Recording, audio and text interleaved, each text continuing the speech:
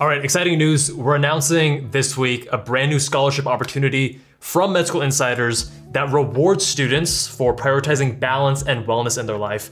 More on that at the end of the video. Far too often, students take pride in burnout, seeing how little sleep they can get or how much they can push their bodies. Ultimately, this results in poor performance in all aspects of your life, and it can lead to burnout and serious health concerns, which I experienced firsthand in college. Now, while working with my team to develop the Med School Insider Scholarship, I reflected on my own college days, and here are eight things I wish I did differently in college. Do not make the same mistakes I did.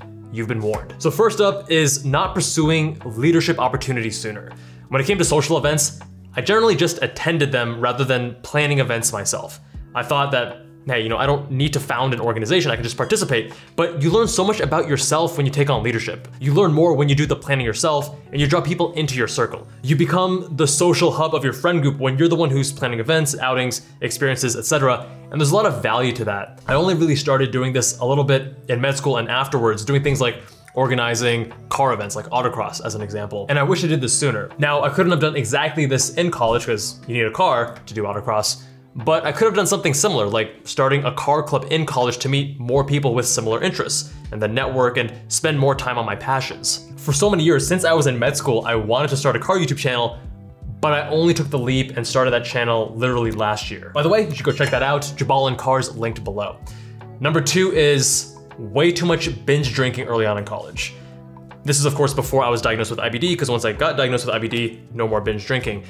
But I went full tilt into the freedom and I overdid it. And generally speaking, it's a very common thing in college because you feel very restricted when you're in high school and then college, all right, all bets are off and you finally can can release and unleash the inner animal, if you will. But I remember blacking out a couple times. Well, maybe I shouldn't say remember. It just feels like such a waste of the night because you don't know what happened, you don't know whether or not you had fun and blacking out just felt so terrible. And then the next day, I also felt so terrible because I had the worst hangover imaginable. I wish I instead took a much more mature approach and slowly approach my limits rather than just blasting past them. Number three is I regret sucking at studying so much because I thought I had everything figured out when it came to studying because I was a really good student. I crushed it in high school and you know, that's not really saying much because high school, let's be real, really easy. And what I would generally do is either practice questions when that was assigned for like physics or chemistry, and everything else was just reading and rereading my notes over and over again, thinking that was studying effectively. Doing those practice questions for physics and chemistry, very helpful. Wish I did it for more subjects, and I didn't even know about flashcards until med school. But the main thing here, I mean, again, I did very well in college as I've talked about in other videos, but I would have saved so much more time and still gotten the same grades, the same performance if I embraced those active studying methods sooner because they're way more effective. By having better study strategies, as soon as I started med school, it would have been a much easier transition. I remember the first two months of med school, I was just like studying nonstop with my good buddy Amit Pandey, just like went hard, even Friday nights, we just went hard into the books. Not necessary. This is something that I'm personally very passionate about because a lot of students they study so terribly and then they suffer as a result and it's so easily fixable. So we did make a whole, we have all these videos on a whole series, a whole playlist on the Med School Insiders channel, which you can find linked below, that guides you through how to do studying correctly. Number four is that I regret overcommitting early on in college. Starting off college, I'm like coming in hot, really, really like, hey, let's like, let's tackle this. And I took only three classes from the advice of my brother. And he was like, don't come in too hot. There's a lot to adjust to. Just do three classes. And it felt a little bit too easy that first quarter. So then in my winter quarter, my second quarter, I took on four classes, but two of those classes were also much harder than the other classes I took in my first quarter.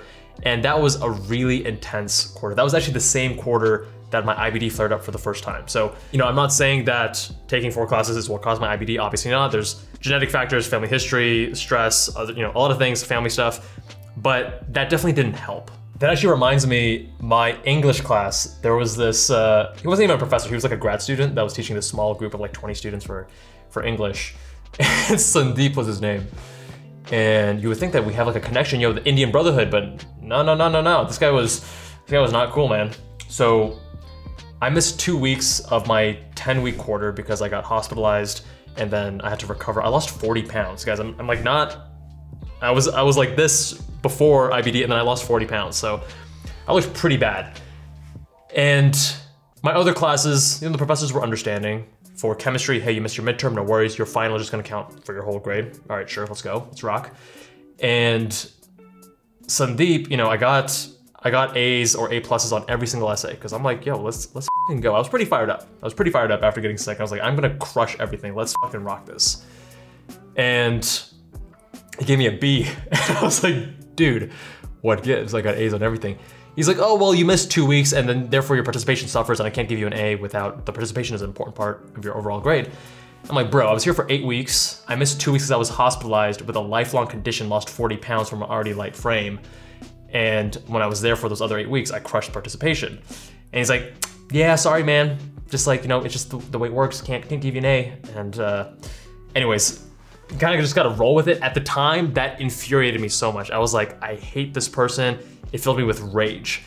But things worked out. I crushed college, got into a great med school. Like, not a big deal. So if I could do it again, I would ease more into the beginning of college and you know pursue excellence in everything you do because sure you're adding on your classes but then you're also to add on research you're to add on other social commitments etc and you don't want to overdo any one of those multiple facets right so I wish I just eased into it it would have been way more manageable number five is I regret not being able to forgive both myself and others now in college I'm already a pretty rigid person but in college I was even more rigid in my thinking and if I made a mistake, I took it to heart. I had a tough time moving on and forgiving myself, which made me suffer more than necessary.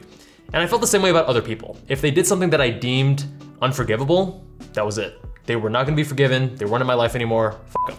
It was only later I had the clarity to be like, dude, everyone makes mistakes, including myself, and we all have moments where we lack clear judgment. And there's this thing called attribution bias, whereby we attribute other people's mess ups and issues to flaws of their character versus results of circumstance. Whereas for us, we do the opposite. And it was only later in life that I learned how unhealthy and corrosive resentment is.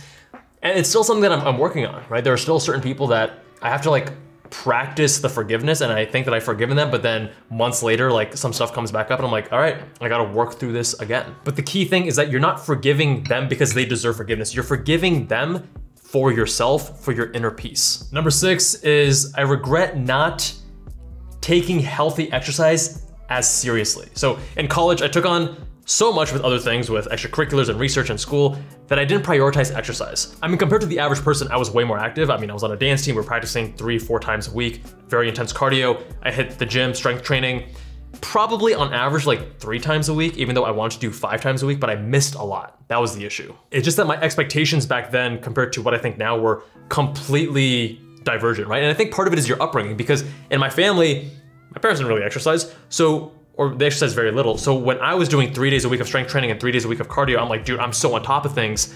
But it's like, dude, you're missing almost half your workouts. You should be lifting five days a week if you want to have the adequate volume and gains and all that stuff. And the issue is back then, I would just make excuses. I would wait until later in the day to exercise and then, oh, school's more important, or oh, this thing like my sleep, this research deadline, whatever. And it just was lower on the priority list. But looking back, I'm like, that's so silly. I had so much time. If I just exercised first thing in the morning, I would have crushed. Now, post medicine in my 30s, yeah, now I'm taking exercise way more seriously. I'm spending like on average three, sometimes even closer to four hours a day between my stretching, my strength training, and my cardio. And like I feel great. But the thing is, the sooner you start the, the habits and you implement them into your life, the easier it is to sustain them. You can exercise every day if you want to, if you make it a priority. And the issue was that I just didn't make it a priority. And for a moment, let's just ignore all the various health benefits. What would have really resonated with me was understanding that it's gonna help me with my confidence. It's gonna help me with my dating life. The things that I was struggling with back then as a college student, it would have helped so tremendously. And so it wasn't until senior year, because I got into my dream school, UCSD, in September. And after that, that's when I opened up all the other experiences that I was holding myself back from in college. And I didn't have to hold myself back from them. That's that's the sad part. So I started going to all, all these raves and like trying new experiences and dating a little bit. And I got really into powerlifting and I gained a lot of weight. I tracked every single thing I ate, tracking all my macros. I was hitting the gym, not missing any workouts, and gained a lot of weight, gained a lot of strength. And in, in certain ways, I might have gone a little bit too intense. I ended up injuring my back, but I could have been consistent and found a better middle ground earlier in college. Number seven is that I regret not pursuing my passion for cars sooner in life. I should have prioritized that because as a kid, when I was three years old, one of my earliest memories was my granddad teaching me how to draw a car. And for whatever reason, when I was as early as I can remember, I just remember loving cars. And in elementary school, I loved drawing. It was like Dragon Ball Z and cars, Dragon Ball Z and cars. And in uh, in middle school, I would draw cars for other kids and then sell it for their lunch money. Like I was just obsessed with cars and I had an RC car and like cars were just my life. And I read every car and driver magazine, you know, front to back. But then in college, especially after I got sick, I was just so singularly focused on being a kick-ass gastroenterologist. And a lot of my passions just kind of fell to the wayside. A lot of these things are related, right? So if I actually studied better, I would have had so much time. I, I brute forced my way to having stellar grades and kicking ass on the MCAT. It wasn't because you know, I had everything figured out because I just studied and worked so freaking hard. And if I had that more dialed in, I would have had more free time and I could have prioritized more car stuff and like gone to car meets or you know, even though you you don't need a car to go to car meets, you don't need a car to enjoy the hobby, to start a car club, to, you know, it's something that I'm now getting back in touch with. And if, you know, throughout my home, I, I, have a lot of like model cars or car posters. I have a room that's just dedicated to my sim racing rig. I have a YouTube channel that's focused on cars. Like, I could have explored that more in college and it would have brought me so much more joy. I mean, even drawing. I took an Academy of Art class in car design in San Francisco when I was in ninth grade during the summer. And um, like in college, I would kind of doodle sometimes when I was bored, but I could have really pushed that further and explored that. Pursue the passions you enjoy and take advantage of the time that you have in college because you're never gonna have more time than you do now. And number eight is that I regret my completely shit sleep habits. I took pride in my sleep deprivation and sometimes, you know, I was very rigid about always wanting to go to class. So I would sometimes go to class and then just fall asleep. I mean, like literally my friends and I had an album on our phones where it would just each other falling asleep in class, which was such a waste of time because you're not gonna be, you're not gonna get as restful of sleep and then you're not learning anything and then you wasted the time just to walk there and back. Really stupid. I was one of those kids that would say, you know, I'll sleep when I'm dead and sleep is a waste of time and stupid things like that.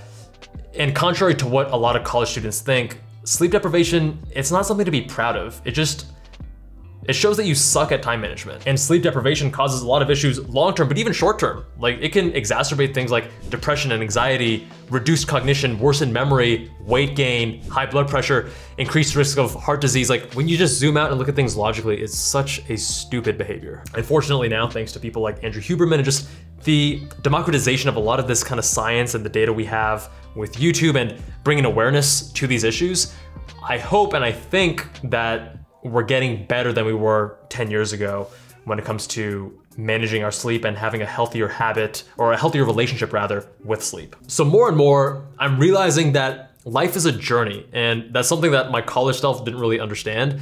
I was so focused on where I was headed, but I didn't think to actually enjoy the present. It only hit me at 20. I still remember I was in my apartment, I just moved to Las Vegas, and I didn't really have a next step in my career. Like I realized that I could do anything I wanted. I can set my own schedule, I can work whenever I want, I can take a Wednesday off and then work on a Sunday instead. And it was kind of an epiphany. And I realized that I'd been so focused on the next step, you know, one after another and so on, that I wasn't appreciating the moment and that there is no then.